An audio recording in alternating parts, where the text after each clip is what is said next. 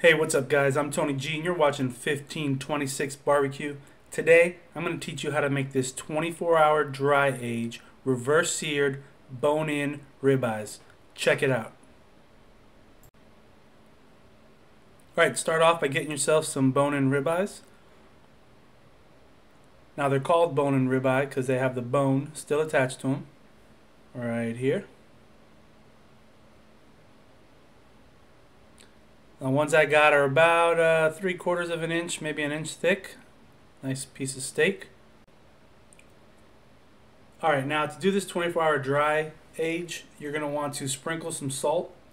I'm using kosher salt. I wouldn't recommend using table salt. I think it's too fine. You're going to want to use either kosher salt or some fresh uh, ground salt from like a larger a grain of salt. Um, just put as much as you like. If you like it to be saltier, add some more. I've done this a couple times. This is the right amount for me. And don't forget to do both sides.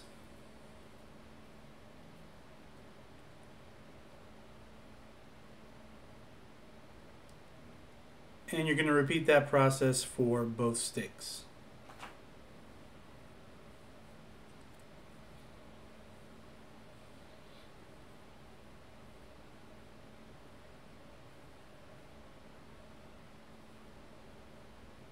steaks. Alright, so once both steaks are salted, you're going to want to put them on a drying rack and put that over top of like uh, some sort of pan to catch any drippings.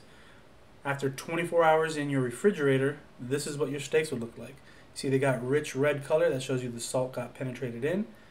Um, you'll see that there is still some salt on the fatty parts and that's okay, the fat won't absorb the salt. But these are ready to hit the grill.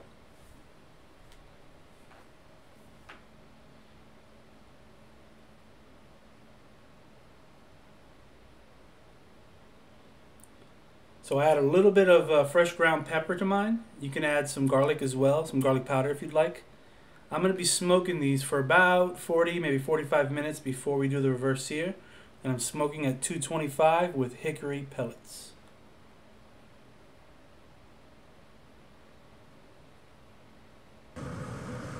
Alright, so just towards the end there, the 45 minutes or so, get yourself a skillet, open up your flame broil uh, slider on your pit boss, um, if you don't have a pit boss, you can do this on your oven or over some open fire on coals or sticks.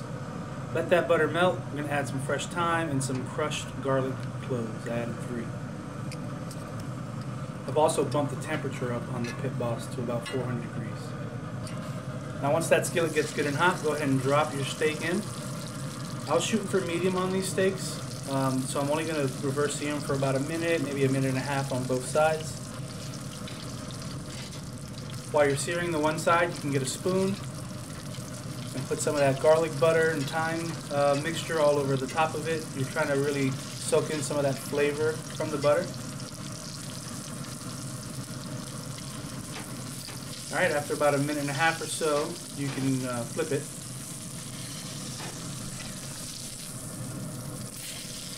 Oh, oh, this thyme's on fire.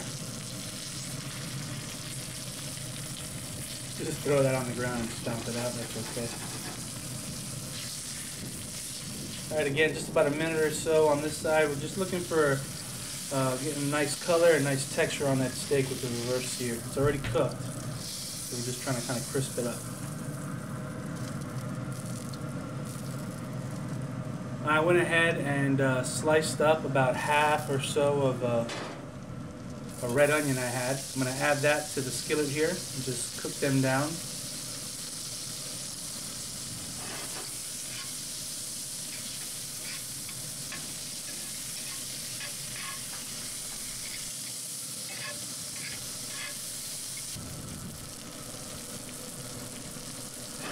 once those onions are done, the meal is complete. Hope you guys give it a try. I hope you love it. Don't forget to hit the like and subscribe button. If you think a buddy of yours should see this recipe, share it with them. We'll see you next time.